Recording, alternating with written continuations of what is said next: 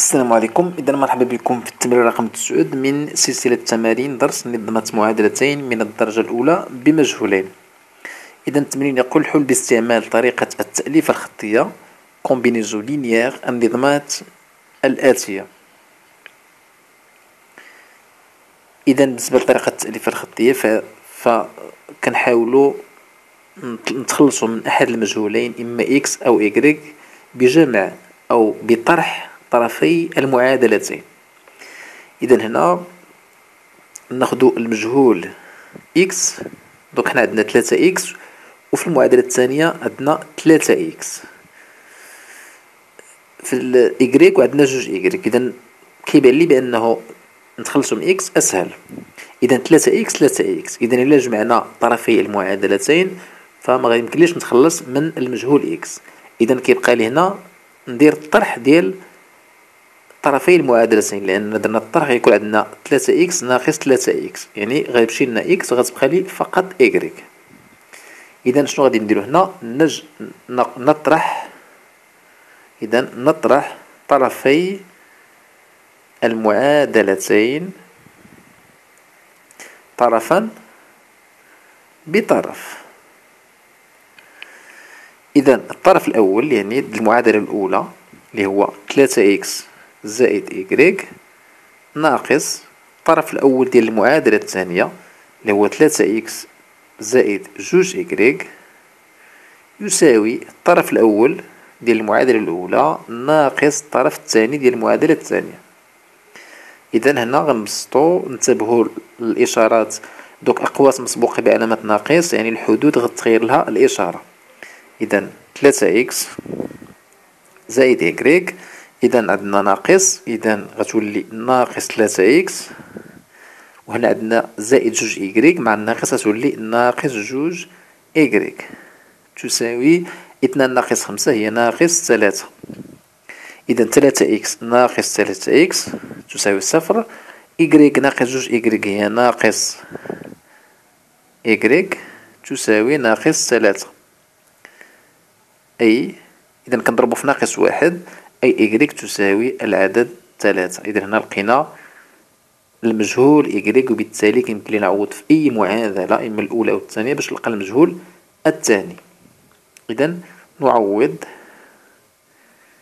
إيكغيك بثلاثة في المعادلة الأولى. نحصل على ماذا؟ إذا ثلاثة x زائد إيكغيك إذا إيكغيك قلنا هي ثلاثة تساوي إثنان. إذا كنديو ثلاث الطرف الثاني إذا ثلاثة x تساوي جوج ناقص ثلاثة. أي ثلاثة x تساوي جوج ناقص ثلاثة هي ناقص واحد. أي أن x تساوي ناقص واحد على ثلاثة. وبالتالي الزوج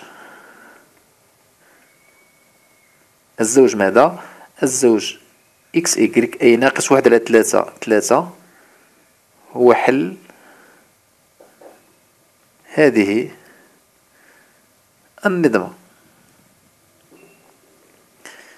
إذا دائما نحاولوا نتأكدوا من الجواب. إذا باش نتأكدوا بأن هاد الزوج راه حل النظمة يمكن لي نعوض الحلول يعني نعوض إكس و إكريك بالقيم ديالهم في المعادلة الأولى وفي المعادلة الثانية وخاص المعادلتين تكون محققتين. إذا ندوزو للحالة الموالية. لنحل النظمة إذا عندنا جو x زائد ربعة إكريك تساوي ثلاثة و ثلاثة x زائد ربعة إكريك تساوي ناقص ستة. إذا إلا خدينا مثلا x كنلقى المعامل هنا واحد وهنا ثلاثة. وهنا ربعة إكريك وهنا ربعة. إذا غادي نتخلصو من المجهول إكريك بنفس الطريقة إلا درنا الجمع راه مغاديش يمكن لي نتخلص من إكريك إذا كندير فرق طرفي المعادلتين أو طرح طرفي المعادلتين. إذا نطرح طرفي المعادلتين طرفا بطرف. نحصل على ماذا؟ إذا عندنا إكس زائد ربعة إكريك إذا الطرف الأول ديال المعادلة الأولى ناقص الطرف الأول ديال المعادلة الثانية يعني ثلاثة x زائد ربعة إكغيك تساوي إذا ثلاثة. ناقص الطرف الثاني اللي هو ناقص ستة إذا انتبهوا للإشارات. إذا ثلاثة ناقص بين قوسين ناقص ستة. إذا نحيدو الأقواس إذا عندنا x زائد أربعة إكريك إذا ناقص يعني الإشارات ديال الحدود اللي كاينين لداخل اللي كاينين داخل الأقواس غتغير. إذا ثلاثة x غترجع ناقص ثلاثة x. زائد ربعة إكريك غترجع ناقص ربعة إكريك ثلاثة ناقص ناقص هي ثلاثة زائد ستة أي تساوي تسعة. إذا عندنا ربعة إكريك ناقص ربعة إكريك صفر.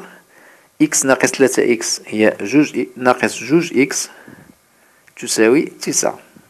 إذا أي x إذا عندنا ناقص جوج مضروبة في x إذا كنقسم على ناقص جوج أي تسعة على اثنان.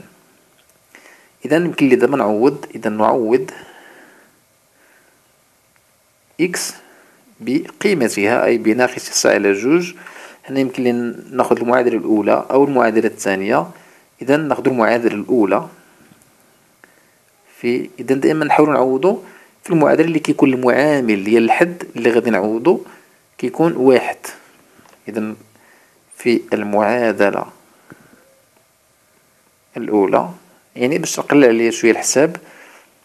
إذا عندنا x غادي نعوضها بناقص تسعود على جوج.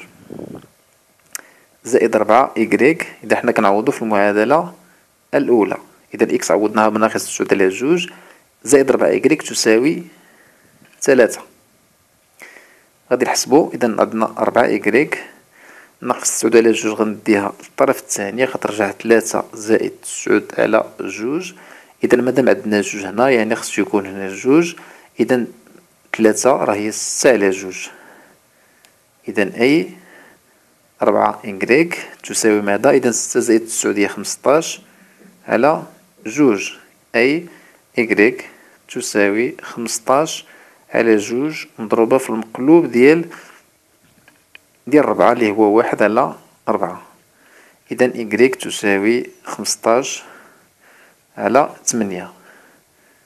إذا الزوج إذا لقينا إكريك ولقينا x لقينا x اللي كتساوي ناقص تسعود على جوج إذا الزوج إكس اللي هي ناقص تسعود على جوج خمسطاش على ثمانية حل لهذه النظمة.